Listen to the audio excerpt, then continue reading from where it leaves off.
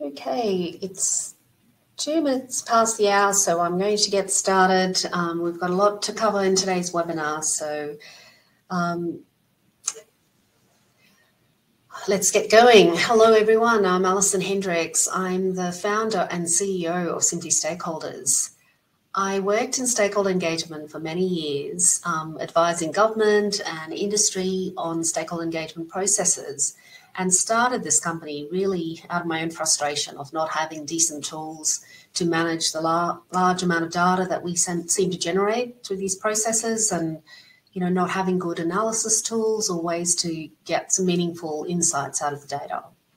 Uh, that was quite a few years ago and um, today Darzin and simply stakeholders are, are two platforms. Are used by governments and industry all around the world in multiple sectors but we do have quite a large contingent of government clients who are, in particular, who are working on policy development processes or um, designing and delivery of uh, large-scale programs. And that could be programs that range anything from um, grant management programs to implementation of health um, or service delivery programs. Um, and we've noticed some common themes in there. So that's why we decided to have this webinar to talk about this particular sort of sector of um, stakeholder engagement. So today I'm not going to be talking to you from a perspective of, you know, what is a good policy necessarily, like a policy expert or or even a project management expert. I'm really looking at this um, area of practice with the stakeholder engagement and stakeholder management lens. So, um, as we all know, um, good stakeholder engagement can make or break a project. No matter what type of project it is, stakeholder engagement is so critical to success. So, we're particularly going to take a focus on the stakeholder engagement and stakeholder management component of delivering good policy or programs. Um, today's session is going to be quite interactive. There's going to be a poll, there's going to be some questions asked of you in the chat, and it's always most interesting for um, the other participants. We've got people um, dialing in from all over the world, uh, lots of different sectors, and you know, welcome. We're really thrilled you could join us. Um, but it's always most interesting when people can um, participate and um, we make the session interactive. So there's going to be times um, throughout the session where I'm going to ask you for comments please um, do give us your thoughts. Okay. So, the agenda for today, we're going to start off looking at some of the particular challenges that policy and program delivery faces. Um, you know, uh, I think stakeholder engagement can be challenging no matter what sector, but there are some unique challenges this sector faces. So we'll look at that. We'll then look at what does um, constitute success excuse me, how do we define success? What are the appropriate success measures to determine whether, sorry, to determine whether a policy, um, you know, and program delivery process has been successful or not? Um, I'm hoping to have some time to go through a couple of case studies with you, and then we'll finish off with some best practice tips. So that's the agenda for today. And um, first up, I'm going to ask you, I'm going to start this little poll. Um, I'd like to know what your interest is in um, this session today. Uh, there's some familiar faces and names, but quite a few of you are new to me, so I'd love to know what you know what you're coming in for. So um, hopefully you can all see the poll. It should be in your little dialog box on the right. Um, so so far we're looking like a lot of general stakeholder engagement. Any of you working in policy or program delivery? I'll give you one more minute to respond.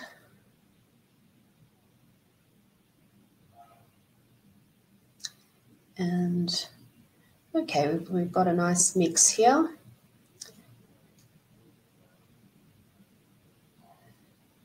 Let's, um, hmm. I thought it would allow me to just show you the poll results, but we've got um, 33% who are working in policy, 16% interested in program design and delivery, and 50% in general stakeholder engagement. So brilliant. Thank you so much for that. All right. That helps me know where to focus the efforts in today's session. So let's start off looking at some of the challenges. And this is very wordy, I, I apologize, but there's so many. Um, I think, as I mentioned before, the area of policy and program development have some really particular and unique challenges. I think measuring, you know, um, to start off with, there's hardly any discussion ever about, you know, good policy or programs. It tends to focus on, you know, the political aspects. Did I like the policy, therefore it was a success, as opposed to looking at the process of developing policy and implementing it, right? So there's very little sort of um, evaluation done or or even discussion about you know successes and failures. So I think there's there's a particular lack of benchmarks of success. I think stakeholder engagement in general suffers from a lack of benchmarks and industry standards, but particularly so in this area of practice. I think some of the challenges for it as well is that, um, you know, when you're looking at some of these large scale policies and programs, the impacts may not be apparent for quite a long time. There's short term impacts, long term impacts, and there's also always some unintended consequences. So, how do we actually judge the impacts of a policy to determine if it was successful or not? This work is almost always done in a highly politicized environment. There's always some very strong vested interests, very polarized interests. That makes it quite challenging, right, to do stakeholder engagement in that sort of environment um, this sort of work attracts a lot of submissions and often they're very complex submissions. That's a challenge in terms of how does the agency deal with those submissions? How do you analyze them and, and how do you utilize that information? There's often limitations on what can be influenced. You know, going back to that, um, um, you know, issue of it being so politicized, there's often very limited um, range of things that can be influenced, right? This is all driven politically. And sometimes changes as a result of stakeholder involvement are not necessarily seen as a success, right? So, in, in a traditional stakeholder management or stakeholder engagement process, one of the ways we look to measure the success of the process is to say how much was it able to influence? Did it improve the project? Did it shape the project? Did it change things? And in a policy context or program delivery context, that's not necessarily either possible or necessarily a good thing right? Sometimes changes are made at the last minute to appease one of the vested interests. And um, perhaps those changes are not as well thought out and could lead to a whole lot of other unintended consequences. So, you know, is, is that a valid measure of success then to say that we change the policy based on feedback? You know, there's a question, right? I'm, I'm not saying it's necessarily good or bad. It really depends. And I think when we look at the stakeholder engagement process around a you know complex policy development process, for example, it's particularly challenging um, in today's environment where so much of it has to be done online. Um, you run into all sorts of issues of um, literacy, right? So we're dealing with very complex issues. People need a higher degree of literacy to be able to understand that information online and then participate meaningfully. So, how do we actually address those challenges in this context. Um, and then how do we, you know, all comes down to how do we measure success? Um, how do we distinguish between the programmatic performance of the, you know, the policy um, and its um, political legitimacy? Right. So um, some some pretty unique challenges, as you can see. So next, I'm going to ask you to write in the chat function you know if you if some of those challenges resonate for you are they some of the things that you encounter in your work or are there some other challenges that you would like to share with us so i'm going to give you a couple of minutes to pop a note in the chat to let us know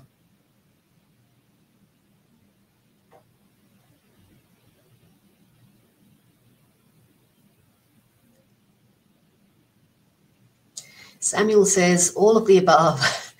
yes. Uh, yes, Gil, we'll, we'll share some information at the end of the session. I'm sure the team will um, be sending things out. How about the rest of you, those of you working in policy in particular? Does this resonate? Does this feel like some of the challenges you encounter?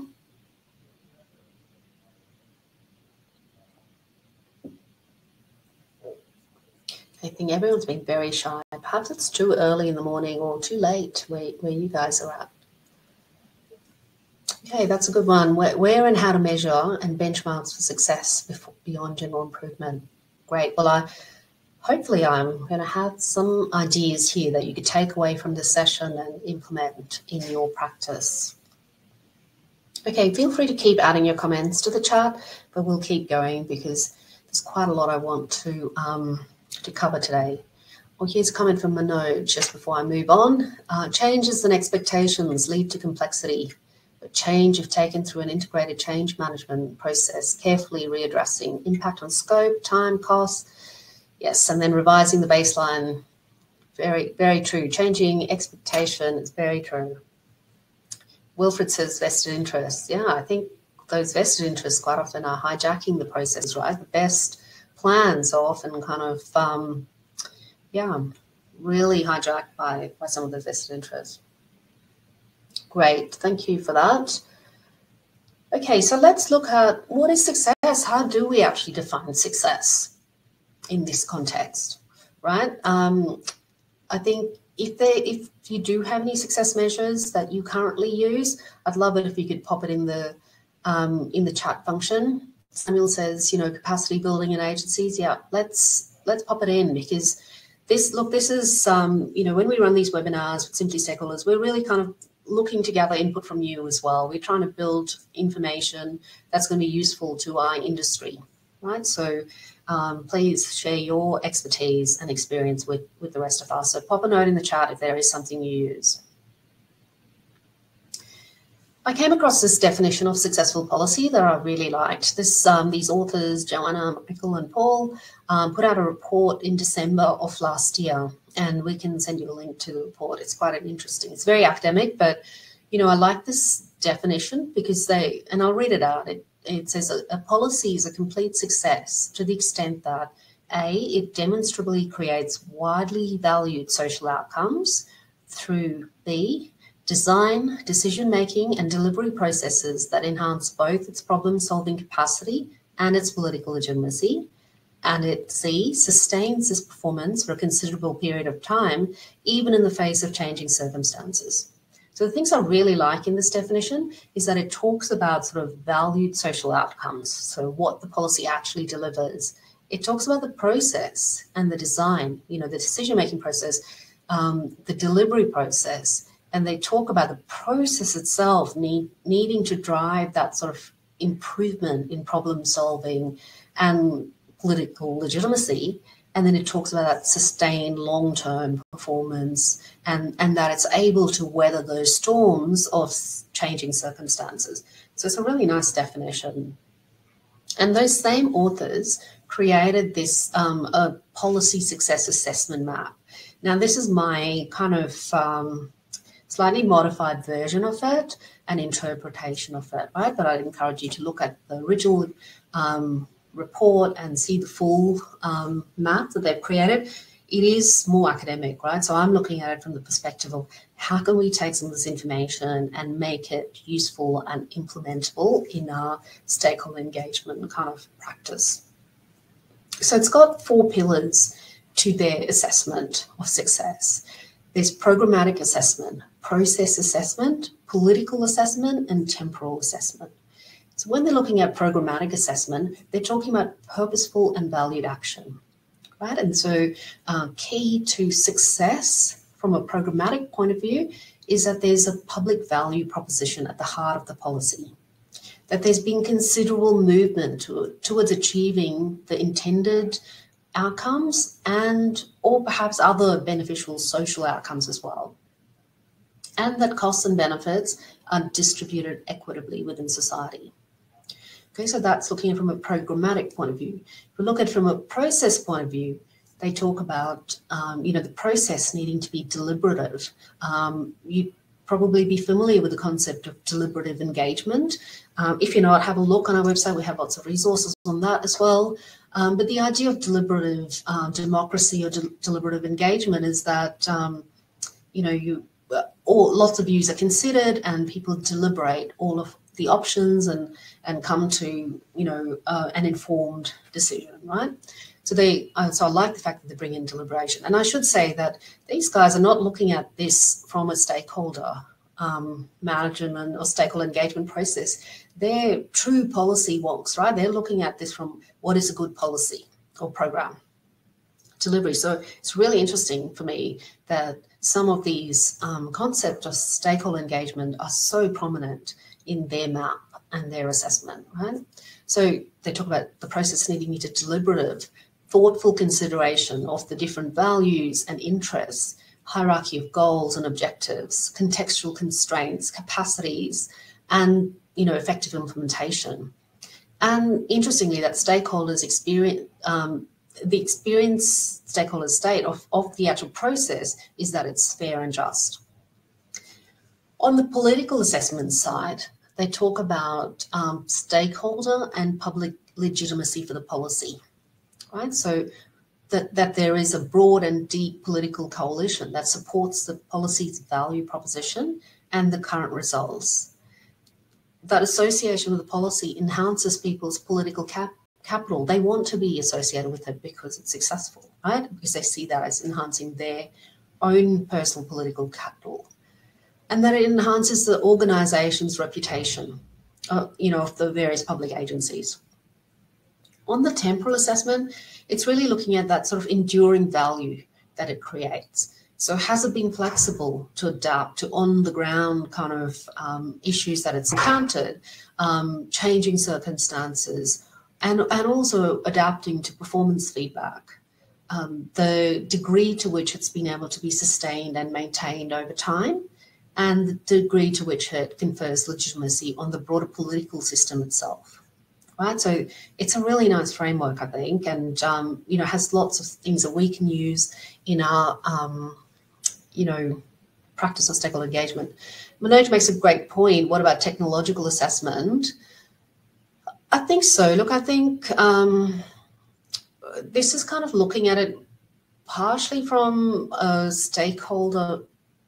I mean, for me, what I've taken out of it is a stakeholder engagement perspective of saying, how do we design, you know, the whether policy has delivered value and has done it in a in a in a good way that kind of offers benefits equitably across society the technology is an enabler of that process. It's not necessarily a thing that should be assessed itself. So, like I said earlier on, I'm not looking at this from a project management assessment framework. And, and that in the project management assessment, I think you would definitely look at the tools and technologies used. Um, perhaps less so in this, but you know, I'm, I'm definitely open to to considering that and and looking into that more. So thank you for that that suggestion. So how do we take something like that success map and you know use it in, in that stakeholder engagement context of how we're going to measure our success? So first of all, let's look at the policy itself. You know, um, I think if evaluation is done in this sector, it tends to be to focus on the process, how many people participated, and um, you know uh, what was the engagement like. But what if we actually you know, as you saw in those earlier def- definitions, they're talking about the actual policy itself delivering value. So, what would be some metrics that we could put in place to to evaluate that, right? So, perhaps the strategic direction that the policy is offering, the level of adoption and acceptance by stakeholders, by a wide range of stakeholders, um, the implementation. Was it implementable? You know, sometimes we can create great policies, but very hard to implement. So, that should be a factor, right? Because at the end of the day, we, you know, it's no good having a policy that's so difficult to implement without sort of massive um, unintended consequences. Then looking at the outcomes that the policy created, both long term and short term, intended and unintended. Looking at the fairness of the policy itself, social justice, and equity. You know, I think that there would be some good measures to evaluate the actual policy itself. I remember what I'm doing here is I'm trying to take it to the next level of saying what are some specific things, right? So a second um, thing we could look at is the process. So in evaluating the process, we could look at how many people were involved in the process. Where did they come from? You know, what was were they representative of the various stakeholders? How many people commented and made submissions? Who participated? who didn't participate, were there any missing voices? Right, getting into that whole idea of stakeholder analysis, stakeholder mapping. Um, are we, you know, are we communicating um, are all the stakeholders involved in, in the process. How about looking at the quality of the participation and submissions? Um, you know, coming back to that idea that these are complex issues and we need to do some capacity building to help people participate meaningfully, then we really should be looking at what sort of questions did people ask or what comments did they make um, to indicate whether we did adequate um, capacity building. Did they see it as a fair process? It's a question we could ask directly of our stakeholders. You know, how fair did you did you think this process was? And then the implementation process itself should be evaluated, right? There should be a whole lot of measures about how effectively that was done, whether it met milestones. That's all you're getting into your project management side of things. Um, and a question I'd pose to you is, you know, are a higher number of submissions necessarily a sign of success? This is something that we discuss with our government clients quite often when they're embarking on these processes. You know, how are you going to define success? Is it a case that you want to attract as many submissions as possible or is it the quality of submissions you know what what is it in the submissions that that's going to indicate success for you and i'll come back to that i'll talk to, talk to that when we look at some of the case studies the third thing we should look at is the results of the um, the policy or the program itself um, what sort of analysis are we doing looking at both quantitative and qualitative measures and we talked about long term short term um, but really, you know, when we're analysing those submissions and that feedback, how actionable were those findings? Were we able to use that information? And then also looking at what else did it deliver? Did it, you know, deliver legitimacy or advance reputations and confidence in the agency running it? So then if we take it, you know, so stepping through measures and then what would be some key results we could actually you know, quantify. I, I like the objective key results of framework um, because it, it kind of forces you to really clarify what your objective is and how you'll measure it, you know, in a very quantifiable way. So if we look at an objective of social justice and fairness, remember that was one of the definitions, key elements of the definitions of, you know, the success of the policy. Um, what does social justice and fairness look like? What would be one of the objectives? Um, you know, so uh, stepping aside from the policy itself um, being socially just and fair, um, what about our process in developing and implementing that process? Um, could we determine whether we were contributing to social justice and fairness? And perhaps one objective could be that we want to um, create more connected communities through this process, remembering that we're looking at long term um, impacts as well, right? The policy and the process should add benefits beyond just the policy itself. Right? And so, one of the things, uh, the benefit of people um, participating in our process is that we improve those community connections because we know there's a whole lot of other benefits that come from community connected communities. There's you know healthcare benefits. There's there's a whole range of things that come from from that. So um, so if we break down the objective of social justice and fairness into sub-objectives, one of them might be that we create more connected, better connected communities. And then how do we measure that? Maybe we look at um, increasing the participation rates uh, in marginalized communities. We, you know, higher than we've had before. So this is the idea also of that continuous improvement. Um, that we have an active engagement with you know, a certain percentage of community representatives. Um, all of those are, are sort of measurable results that will contribute to developing more connected communities. I hope that makes sense uh, of what I'm trying to achieve in this table here. So this is not meant to be a fully comprehensive kind of list of indicators. It was just really just playing with some of the objectives and saying, well, how would we go about breaking them down into measurable outcomes and results? So the next one I had was increased trust, right? How, how will we measure whether we're contributing to that in our policy and program delivery? Um, one of the you know things we can do towards that is publishing regular reports on our website, uh, measuring engagement with certain groups, um, but then also that we um, you know overtly ask stakeholders um, what their level of confidence is in the process and the policy itself.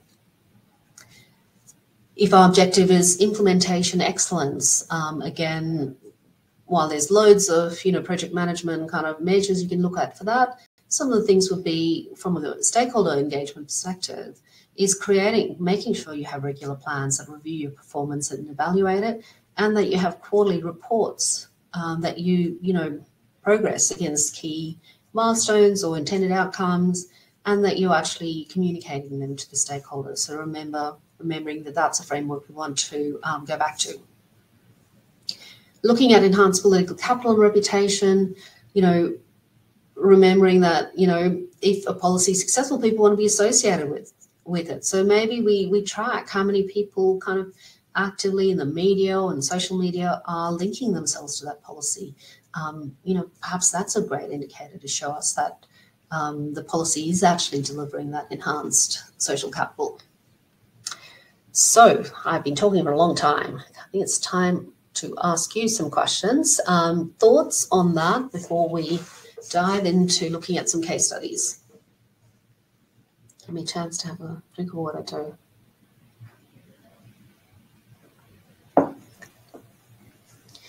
Any comments you want to add um, into the chat function? Where are we at?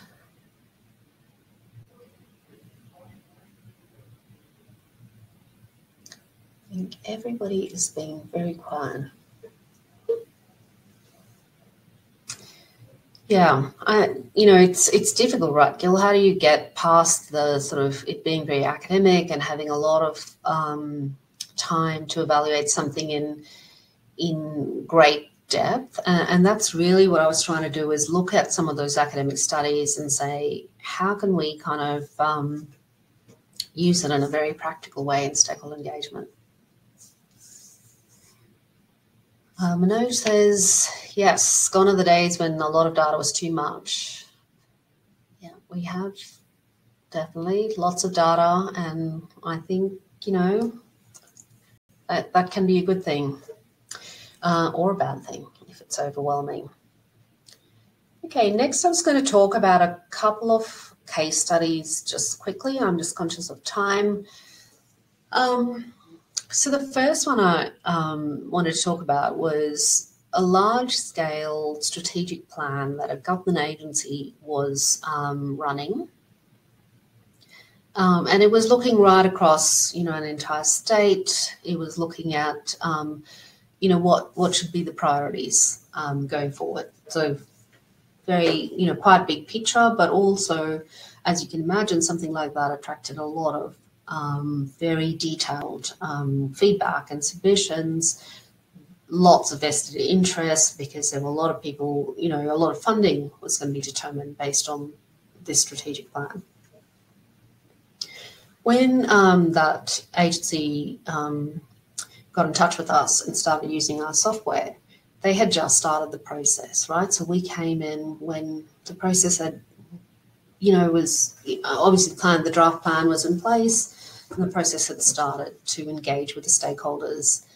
Um, one of the first things we noticed when we looked at the, they had a feedback form questionnaire that they started mailing out to people and um, sending out, distributing. We looked at the form and we noticed that it didn't have any, um, you know, identifying information because they wanted to encourage participation. So it was it could be anonymous. It could, people could put their details in, but it didn't really ask them to locate where they were coming from, right? And and so the magic number that was key to success was to ask people for a postcode. So you could still be anonymous, but by asking for that postcode, they were then able to slice the data. You know, they got a lot of feedback. They got thousands of um, submissions and feedback, but they were able to slice it by region, by um, political electorate district, by local um, authority, local council area, because you know, as Manoj said, we, we have the data. We can we can cut it multiple ways. So what that gave them was a uh, an ability to say the priorities in this particular region were X, Y, and Z. The big concerns were these things right? So it, it immediately made the information much more understandable. And, um, you know, we luckily we were pretty early in the state in the process and they were able to reissue um, submission forms and survey forms with that postcode field requirement. Um, and before they got the thousands of um, responses, right? So interestingly, that became so important, not just in the policy, uh, the, the planning process of determining, you know, the priorities and the, the actions to take, but uh, the um, all of the decision makers ended up wanting to see all of the comments from their region, right? They were also able to, to slice the data by different functional areas. So what were the, you know, comments about the environment versus um, policing or you know, all, all the different kind of um, areas of business of government. Um, and their first reporting to the politicians was to to give them, you know, a selection, the top 20 comments on that topic. And almost immediately, just about all of them came back and said, well, actually, we'd like to see all the comments. So suddenly you were getting all of the feedback from the stakeholders in their own words directly to the decision maker right? Really powerful. That's the power of the qualitative analysis function that our software has that it can take those words directly to the decision maker. So big, big advantage in getting, you know, the information through, um, big advantage in designing the priorities appropriately by region. But the interesting thing that came later on when they went to implement the plan, because they had to work in partnership with a whole lot of agencies um, like the local councils, local authorities, um, very interestingly, when they went to implement, implement it, um, you know, the first meeting, they basically just ran the feedback based on that local council using that postcode filter. Um, so um, I'll, I'll, come back to your question, Gil. Um, they were able to, you know, run the the feedback on, on those things and turn up to that first meeting with the local council and say, here's the feedback from your local community. This is what they want us to do. And um, almost immediately, every almost every meeting they went to, uh, they told, told me that made um, people in the meeting would say, "Hey, that's my comment, and you still have that." You know, a year later, a year after I submitted that, and that you're actually still looking at it when it comes to implementing the policy. So, in terms of building relationship and trust, with the authority that they had to work in partnership with to deliver it, it was a huge win, right? So it ended up being such an important thing for the successful implementation of that plan. So sometimes just thinking through how you can use the information, how you plan to use it, and what's going to be important for you um, can really help, you know, really change your um, your whole process. I think, and not just in terms of the actual plan itself, but that long term, you know, relationship building, uh, implementation of the um, the plan. Now, um, Gil's comments there, hundreds or more, how best to group them? Yeah, look, in, in this case study, they did have a few hundred responses that had already come in on the first form that didn't have that locator information. So I think the, the team did their best to try and locate them. Sometimes people do give their address details, so that's easy. But they, they still ended up with a few sort of comments. I mean, they were included in there as part of the general feedback, but um, compared to the thousands that came after that, you know, they were literally, you know, I, I, can't remember the exact numbers right now, but there were thousands of um, submissions that came through. So uh, in that context, it didn't matter. But if you if you have, I mean, if it's too late in your process and you've got lots of data, um, trickier to do that analysis, right? You really need to look at the questions. The second case study I wanted to go through was also another government department working on a policy, a very controversial new policy in the planning space. And um, it, it was a difficult project for them um, you know, talk about vested interests, nothing is more vested when you're talking about planning and properties, and uh, certainly in some countries, certainly in Australia, I think, same in the US and many other countries, right? So, very controversial topic and um, uh, quite a complex change to the policy. This uh, government agency was not using our software, right? And they had about 5,000 submissions and part of their policy was that they would publish submissions publicly on the website for transparency, because you know this that kind of particular sector is quite rife with a bit of um, I won't say corruption, but certainly there were deceptions of corruption. They wanted to be very transparent about it. Um, there were a whole lot of community groups who weren't so confident about the government uh, agency analysing the feedback meaningfully and coming to the right conclusions. So they decided to do their own analysis of the submissions. And they contacted a number of academics um, asking for help, and some of them recommended them to us. So they came to us and um, you know took advantage, I guess, of the not-for-profit discount that we we had, and they used our software to do their own analysis of the government of the, those submissions. Right now, classic David and Goliath situation where you've got a government agency with enormous resources, huge number of consultants going through these 5,000 plus submissions. And then you've got a, a scrappy community group um, run by volunteers, um, people not super techn- technically savvy and trying to, you know, do the same thing really and, and test out the accuracy of the government's evaluation. They had to be more strategic in what they were looking at. So that was the key. Um, they they couldn't do all 5,000 and they couldn't do it. They had different objective, right? So that our advice to them early on was be strategic. What are you looking for? And um, the process, you know, the, the, the whole project was running late. It was delayed. The report hadn't come out, and then um, the minister in charge of politician came out and um, made a, had a big media briefing saying, "Look, we've had heaps of submissions. They're very complex, and and they were. Some of them were hundreds of pages long. Right? Um, the team is still evaluating them, but one thing is clear: nobody agrees on anything. Um, people you know like dislike lots of different parts of it. So we're, we're pretty much on track. We're probably going to just keep going with this draft policy because it's clear that it's you know everyone's got some some issues but not terrible issues. And um, unfortunately for the minister the community group came out the next day with their own media and they were fairly media savvy and they were able to say well the minister's actually quite wrong. Uh, there's common agreement by normally opposing parties. So they had, uh, you know, the legal academics, the property council, like the industry groups, the environmental groups, Greenpeace, all of these people, all of these groups that typically would be quite uh, opposed in their positions. But they were able to say all of them agree on these three things, that these three things are wrong in the policy.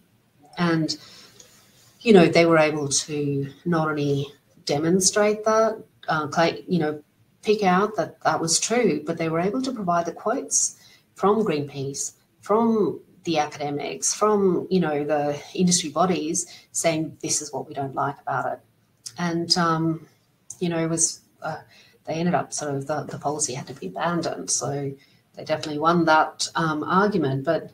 The, I think what happened from the government point of view is that there were so many submissions they didn't have adequate tools to look for those areas of common ground or areas of common dissension, and they were not able to pick out those patterns. They didn't see the forest for the trees. They were so focused on the trees, they didn't notice that there were some really important patterns in the feedback and in the data, and how do we pick them out easily and quickly and act on them. So for me, there were, you know, two the two really interesting case studies, right, in from in that policy context, because they show you the power of data and they show you why you need to sort of have good tools as well to help you get through it. But starting, you, you need to start with a good framework and a good idea of how you're going to measure success before you get too far into your project, or you're never going to be able to really, you know, analyze it well. So, best practice.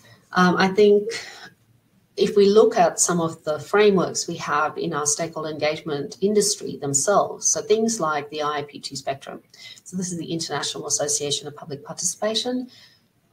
Most of you, I'm sure, will be very familiar with that. It's a framework that's been around for a long time. There's a lot I don't like about this framework, but there's a lot that, you know, still holds true. I think the reason I put it up here today was I thought, you know, going back to that idea that um, policy and programs are often done in a very um, politicized environment um, where you don't have an opportunity to change much always. Sometimes there's almost no opportunity to change anything. So I think the spectrum is interesting. So from in that context of saying, well, where is our, you know, just honestly, where is our policy sitting? Where is this program sitting? Is it is there any opportunity for us to collaborate and empower people to make decisions on it? Or are we really at a stage where we can do nothing but just inform them that it's happening? They don't have a choice in it. The best we can do is just keep them informed. Right? So uh, it's just good to refer to this, identify where, where you are and where you could be on, in your project then we look at some of the other frameworks that we like as well, you know, like Equator Principles and IFC um, performance standards. Um, they have some key indicators for effective community engagement. And some of those things we, um, you know, that are like in here that we look at, you know, um, stakeholder identification analysis, who needs to be involved in this process, um, free and informed consultation, informed participation, that capacity building, consultation with vulnerable groups um, and then feedback, letting people know how their participation, um, you know, was used and informed the process and outcomes. This is an evaluation framework I developed quite a few years ago. Um, I think it, um, well, we, um, there was a United Nations um, conference on community engagement, the first one. Out of that came this Brisbane Declaration, which kind of I was pretty involved in helping write.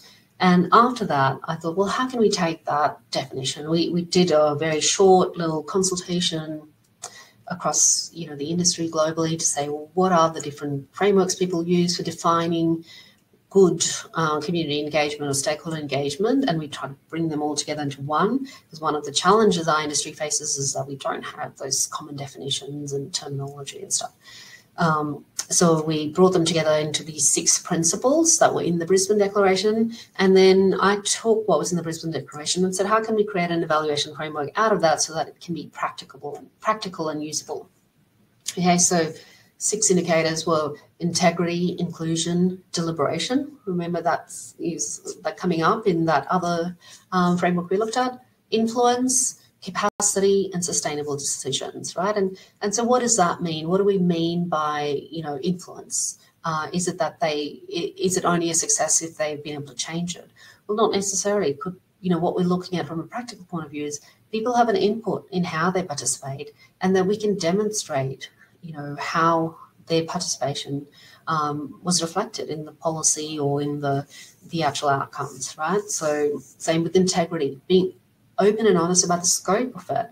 If uh, the scope is limited to just informing people and you have absolutely no chance that anyone could influence anything on, on the actual policy, it's too political, then let's be honest about it. Let's not ask people, do you like this policy? What would you change? Because we don't have the capacity to actually change it. Right? So I think this framework um, still kind of holds true and has some value. We have a whole ebook on our website. So if you want to read more about it, please go to our website, download it, and have a look. And so finally, um, three practical tips for success, right? So the first thing I would say is just get started.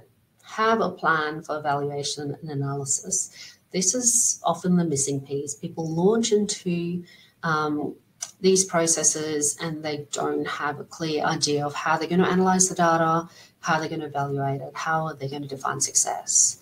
Um, I see this time and time again with processes, um, you know, right across different industry sectors, but particularly in relation to policy and program delivery.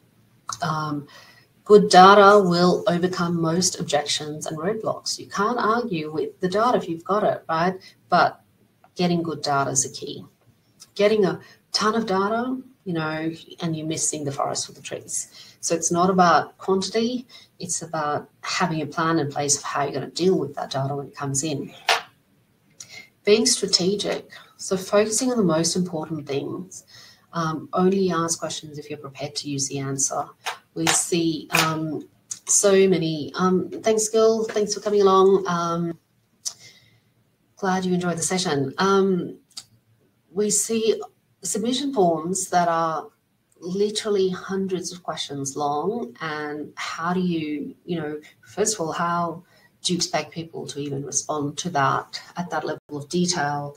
Um, it's i feel like it's disrespectful of people's time to even ask them to do that. And then are you actually going to use that information right? So better submission forms is my third and most practical tip for you is focus on the forms, how people are going to give you the feedback, because more, more often than not, we're asking for written feedback on these processes. And one of the easiest things you can do to really improve all of this is to create a better form. Um, some of the worst case examples I've seen of submission forms, uh, as I said, hundreds of questions long. Uh, I think the worst one was, uh, yeah, 140 questions, something. Um, and the questions were not meaningful right? It was long, they were complex. Um, I, I, think in one case it was like, uh, because it was on a policy, it was like, do you agree with clause 1.1? If yes, why? If no, why? Do you agree with clause 1.2.1? You know, and it's and so it went, and it was just like it was horrific. It was it was so complex, and it had required people to keep going back.